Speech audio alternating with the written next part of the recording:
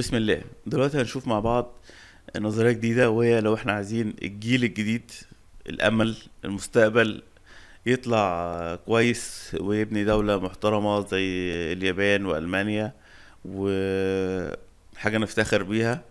نعمل الموضوع ده إزاي؟ هو الحل ببساطة إن إحنا ممكن لا إما الآباء يندحروا لا إما إحنا نقتلهم كدولة والدولة مش مقصرة في الموضوع ده خالص. يعني هتبدأ تتعرف على تفاصيل النظرية الغريبة ديت. آه، من وأنا صغير بحب أقرأ آه، السيفيهات أو سير ذاتية للناس. كل واحد من العظماء بيكتب سيرته الذاتية أو بتلاقي الراجل نفسه بعد ما يموت في ناس بتكتب قصة حياته. فكان عندي هواية أقرأ سير ذاتية وبشوف إيه الحاجات المشتركة بينهم. فما لقيتش مثلا هم كلهم عرب أو كلهم غرب أو كلهم اغنياء أو كلهم فقراء أو بس في صفة كده لقيتها بتتكرر بطريقة غريبة وهي آه، إن ال- العبقري والعظيم والمبدع دوت كان يتيم. كان يتيم الأب. يعني هو في بعض الحالات النادرة كان يتيم الأم وبعض الحالات كان يتيم الأب والأم بس كانت مشتركة جدا موضوع الأب. أمثلة سريعة لو أنت بصيت مثلا وامسك أنت أي مثلا حاجة أنت تعرفها ومتخصص فيها مثلا دكاترة اللي خدوا نوبل الناس ال- الكتاب الكبار الفقهاء المفسرين ال... يعني على أساس ما نبقاش متحيزين فيها خد أي فئة من فئة العظماء هتلاقي فعلا إن أغلبهم ولد أو عاش يتيم. ومثلا لو مسكنا الخمسة آه، اولي العزم من الرسل هتلاقي مثلا سيدنا آدم ولد بدون أب ولا أم سيدنا نوح مفيش أي معلومة خالص. سيدنا إبراهيم في آية بتقول وإذ قال إبراهيم لأبيه ازر بس هتلاقي تفسير المفسرين أو أغلبهم إن أبوه مقصود بيها عمه تمام؟ وهتلاقي شيخ شعراف فسر في الموضوع دوت إن أنت لو بتتكلم آه بتكلم أبوك مش لازم أقول أبوك محمد لأ هتلاقي أبوك محمد ده يبقى مقصود بيها في العرف أو في المشهور بين الناس إن هي مثلا عمه أو كده بس هو بيعظم بس مش هنختلف. تعالى نكمل بيت الأنبياء مثلا. هتلاقي سيدنا عيسى ولد بدون أب. هتلاقي الرسول صلى الله عليه وسلم ما- مات أبوه وأمه فأصبح يتيما. وسريعا كده هتلاقي الإمام أحمد بن حنبل وسفيان الثوري والإمام الشافعي وهتلاقي الإمام البخاري وهتلاقي الإمام الغزالي وهتلاقي علماء كتير جدا جدا أو أغلب العلماء. ولد يتيما طب إيه إيه إيه تفسير لكده؟ أو إيه؟ من ضمن الحاجات وهو إن إن الآباء بيبقى الأبناء متكلين عليهم تمام؟ الآباء بيوجهوا وبي ويقعد يقول له طول الوقت بقى صاحب ده ما تصاحبش ده ما بيدوش فرصة الاختيار ما بيدوش فرصة اتخاذ القرار. الصح إن أنت تسيبه يتخذ القرار تمام؟ اللي فات دول ربنا كان بيصنعهم على عينه زي ما قال على سيدنا موسى واللي تصنع على عيني. سيدنا موسى برضه كان يتيم تمام؟ فهو ربنا كان بيهيئ للناس ديت. يعني في حديث برضو ما من نبي إلا رعى الغنم. فكل الأنبياء رعوا الغنم وهم صغيرين. ولو جيت تبص للسير فعلا هتلاقي كلهم بلا استثناء. الأنبياء ربنا بيصطفيهم فبيبدأ ي... إن الله إذا أراد شيئا هيئ أسبابه فبيديهم أسباب. فاداهم سبب ان هو يرعى الغنم فيبدأ يشو ي... كأن دول الشعب بتاعه فيبدأ ي... يرعاهم. كده تلاقي سيدنا عيسى في الإنجيل على طول إنما بعثت لخراف بني إسرائيل الضالة. المهم ال-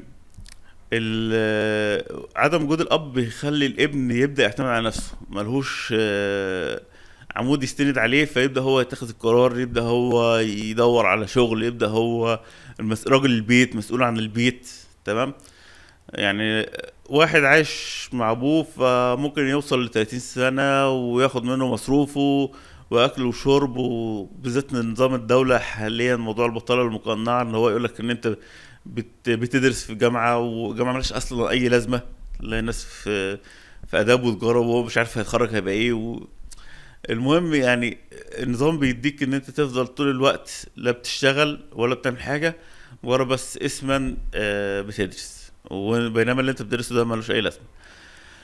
فهو الفكرة كلها لو إحنا رافضين فكرة ال- ال- القتل طبعا الكلام ده كله كلام مجانين آه، إن ال- الآباء يدوا فرصة من الحرية لأبنائهم. أنا ابني معاذ عنده تقريبا آه، عشر شهور. من عنده سبع شهور ممكن أخده مثلا مول يكون فاضي وأسيبه وأختفي. ما هو ما يشوفنيش بس أنا مراقبه جدا يعني بحيث لو حصل حاجة وأسيبه هو يتعامل ويلعب مع الأطفال ويتحرك و... أنا واقف ورا ظهره وهو شايفني بحس هيعمل إيه؟ هيتصرف إزاي؟ لازم في الأجازة أول ما يبقى مثلا عنده 12 سنة 13 سنة تنزله يشتغل حتى لو هو مش هيجيب فلوس. يقف مثلا في محل يبدأ يتعامل مع الناس يبدأ ياخد قرار. مش مش كل حاجة علمه صح وسيبه.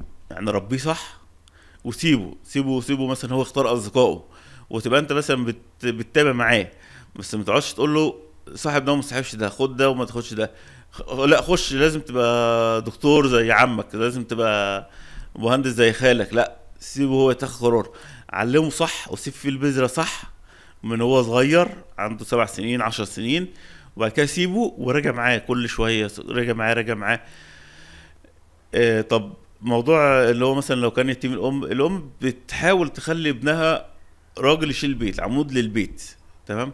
فده بيساعد كتير. هتلاقي أغلب النساء خلوا انجبوا عظماء لما فقدت آه، ال- الأب فهي بتحاول تخلي ابنها هو ده العمود بتاع البيت. يعني حتى هند بنت عتبة كانت بتضرب ابنها معاوية بن أبي سفيان. فبيقول له انت أنت بتكرهيه أنت بتضربيه ليه؟ قالت له من قال أكرهه فقد كسب إنما أضربه ليشب ويذهب الحرب ويأتي بالكسب. تمام؟ في نساء كتير فضليات ربت أبنائها تربية خلته من العظماء. تمام؟ فقد أبوه فهي لا خلاص أنت بقى إيه أنت بقى عايزينك نفتخر بيك ونبقى أنت عمود البيت. الإمام الشافعي مات أبوه فامه هي ال- اللي صرفت وعملت سفيان الثوري امه قالت له هكفيك بمغزلي. في ناس كتيرة جدا خلاص ال- الابن دوت هو ده بدل أبوه فلازم يطلع زيه فبدأت تشد عليه شوية بحيث إن هو يطلع يمسك مكان أبوه. حتى لو هيمسك مكانه في المحل بتاعه في الدكان بتاعه. فملخص الكلام كله آه، ادي حرية اتخاذ القرار لل- للطفل آه، ما ما تبقاش انت عايز صورة منك فتجبره ان هو ياخد قرارات زي ما انت خدت أو قرارات اللي انت كنت بتحلم بيها المستقبل. هو شخصية مستقلة هو ياخد اللي هو عايزه. المهم ان انت هو صغير تربيه صح آه، تعلمه صح. وفي أحد الصالحين كان عنده ابن صغير كده آه، هو اتفطم عنده سنتين خده للشيخ بيقول له أنا عايز يبقى عالم من العلماء. قال له عنده قد إيه؟ قال له سنتين. قال له ده أنت اتأخرت كتير قوي قال له ليه يعني؟ المفروض أجيب لك من إمتى؟ قال له المفروض لو أنت عايز تجيب عالم من العلماء تبدأ قبل ما تختار الزوجة تبدأ تختار الزوجة اللي هي هتربي طفلك وتعلمه الدين والحاجات دي كلها. تمام؟ فنتمنى إن شاء الله إن الجيل الجديد آه، نربيه صح نبعده عن المشاكل آه، نعلمه إزاي يتخذ قرار. مش عيب إن أنا أروح آخد كورسات. أنا رحت خدت كورسات كتيرة جدا في موضوع تربية الأبناء.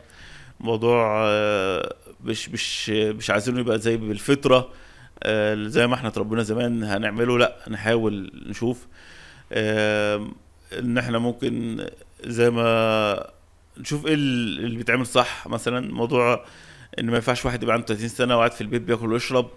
لا آه، روح لازم تهرب تشتغل ومش مفيش حاجة اسمها مصروف بعد ما اخلص لا انزل اشتغل وانزل هات. آه، الأجازة الصيفية ينزل يشتغل ويتدرب. وربنا إن شاء الله يبارك في الجيل الجديد ويبقى أحسن من الجيل الحالي.